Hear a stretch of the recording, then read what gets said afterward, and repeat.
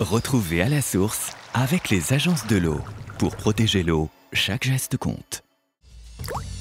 Comment distribuer une eau de qualité à moindre coût En évitant la pollution là où on la puise? Pour Cyril Griman, du syndicat d'eau du Val du Touet. Moins l'eau est polluée, moins elle est traitée, moins elle coûte cher. 1 million de mètres cubes est capté chaque année aux sources de Seneuil sur une zone de 69 km.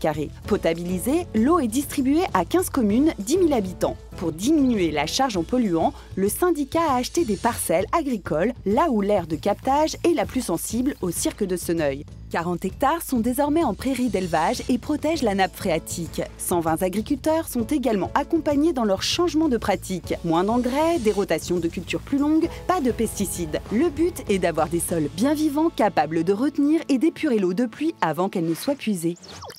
C'était à la source avec les agences de l'eau. Pour protéger l'eau, chaque geste compte.